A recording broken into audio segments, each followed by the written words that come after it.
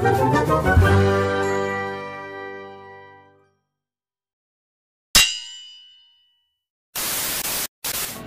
morning, good morning, good morning. It's Sir Jesse and welcome back to my YouTube channel. So for today's video, magkakaroon naman tayo ng online tutorial on how to use Facebook Premiere. Last month, I was able to upload an online tutorial on how to stream a pre-recorded video on Facebook using OneStream Live. So today, ang gagamitin naman natin ay Facebook Premiere. So without further ado, let's get started. To start with, you need to go to your browser. So you need to click Google Chrome. Then after that, you need to visit your Facebook. And after visiting your Facebook, go to your Facebook page. So I have here my Facebook page named Jesse Jan's Vlog. So you need to click that. And it will appear like this. Let's wait, medyo mahina ang internet.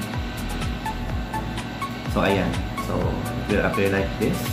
So this is my Facebook page for my vlog. So in the left side there are lots of tabs. So you need to click the Creator Studio tab and it will it will appear like this. It will appear like this. Proceed now to the left side by clicking the tab of Content Library. So, ayan, andito na. And then it will appear like this. And then in the right side, you need to click upload videos and click single video.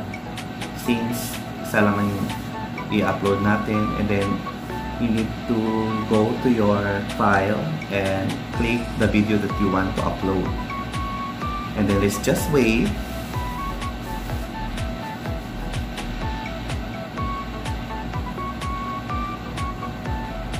So ayan, appear na siya. So, all you need to do is to fill in all the information provided. Like, for example, you need to type the title of your video that you want to upload. Like, for me, um, title of this video is Exploring Boreas Island, Glan, Sarangani Province.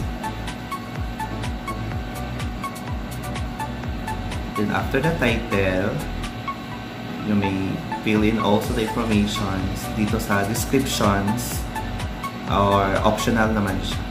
But then sa akin, gusto ko siyang lagyan ng description. So, nilagay ko is Wow Socks. Please visit Malingkat Beach Resort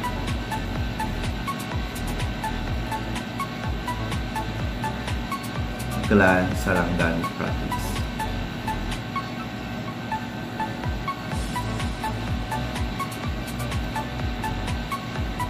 Ayan. And then, after that, if you click these tabs, pwede kayo maglagay ng tabs. Like, for example, travel, or there are available naman na tags like beach travel and tourism. And then you may also uh, provide your own tags like Boreas, Glan, Malingkat Beach Resort, and etc. It's up to you. After sa tags, let's proceed now to video details if you want to have um, caption, i-on nyo, nyo lang siya. And then if you have your own thumbnail, you may add by clicking this add image and then click yung thumbnail ninyo na na-create and then ayan na siya. So after that, you need to click next. By clicking this, mapupunta kayo dito and then you're going to see the premiere. So, yan yung gagam gagamitin natin yung premiere, you need to set the date and that exact time. Like, sa akin, it's May 4, 2021 at exactly 1 p.m. So, let's just wait until ma 100% na ma-upload yung ating video. And then, after that, we're going to click publish. Okay? So, ayan, let's check kung may notification na sa ating main Facebook. So, all you need to do is to go to our main Facebook. Go to Facebook. Then let's check kung may notification na kung successful ba ang ating na-upload na video using Facebook Premiere. So let's check. So ayan, successful na your Premiere announcement was published successfully and schedule a video premiere to begin on May 4 at 1.12 p. So, let's just wait until na mag 1 p.m. na para makita natin kung nag-appear na ba yung ating video using Facebook Premiere. So ayan, 25 seconds na lang, magsa-start na yung ginawa nating um, live stream using Premiere. So, para successful, no? So, let's do it! 11, 10, nine, eight, seven, six.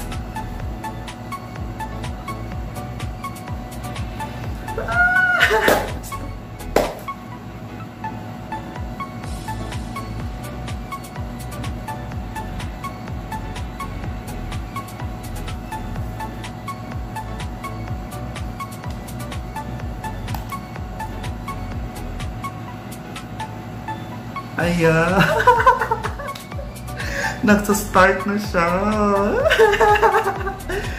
Success ang ating premiere video today sa ating FB page.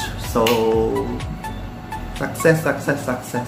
It's my first time kasi, it's my first time kasi na nag-premiere ng video using FB Premiere. So, kaya sobrang saya ko. So, success!